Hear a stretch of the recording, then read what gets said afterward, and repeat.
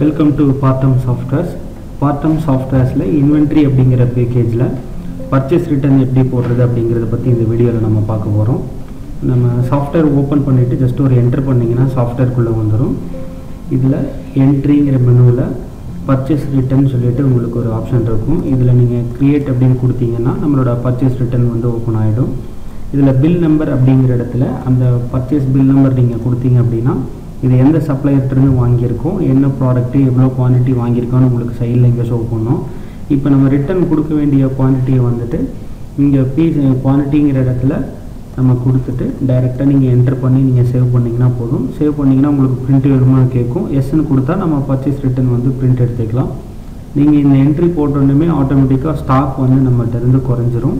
Plus சப்ளையருக்கு நம்ம கொடுக்க வேண்டிய அமௌண்ட்டில் இருந்தும் அமௌண்ட் வந்து லெஸ் ஆகிரும் இது ஒரு type of Uh, purchase return இது வந்து பார்த்தீங்கன்னா உங்களுக்கு நம்ம purchase return purchase bill number வச்சு நம்ம ரிட்டர்ன் பண்ணுற மாதிரி இருக்கும்.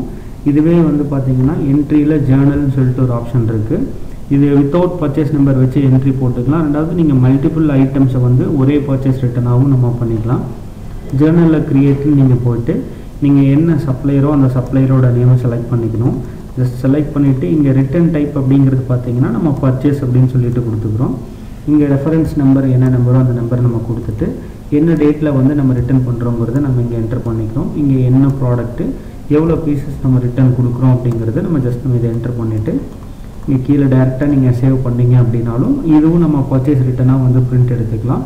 பட் நீங்கள் ஜேர்னலில் போட்டாலும் ஸ்டாக் வந்து ஆட்டோமேட்டிக்காக நம்மகிட்ட இருந்து லெஸ் ஆயிரும். ப்ளஸ் அதே மாதிரி சப்ளையரோட அக்கௌண்ட்ஸ்லேயும் நம்ம கொடுக்க வேண்டிய அமௌண்ட்லேருந்து லெஸ் பண்ணிக்கும்.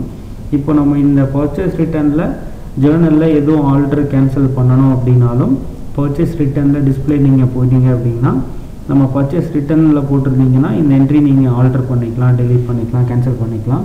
சேம் அதே மாதிரி தான் நீங்கள் ஜேர்னலில் போட்டிங்கன்னா ஜேர்னல் டிஸ்பிளேயில் போயிட்டு நீங்கள் எந்த என்ட்ரி நீங்கள் கேன்சல் பண்ணணுமோ ஜஸ்ட் அந்த என்ட்ரி கிளிக் பண்ணிவிட்டு கீழே கேன்சல்னு இருக்கும். நீங்கள் இதை கேன்சல்னு கிளிக் பண்ணிவிட்டு இங்கே உங்களுக்கு ஒரு மெசேஜ் பாக்ஸ் வந்து கேட்கும். ஆர் யூ ஷூட் டு கேன்சல்னு நீங்கள் எஸ்எல் கொடுத்தீங்கன்னா என்ன ரீசனுக்காக கேன்சல் பண்ணுறீங்கன்னு கேட்கும். அங்கே டிஃபால்ட்டாகவே ராங் என்ட்ரின்னு இருக்கும். ஜஸ்ட் நீங்கள் ஓகேன்னு கொடுத்தீங்கன்னா அந்த என்ட்ரி வந்து உங்களுக்கு கேன்சல் ஆயிரும்.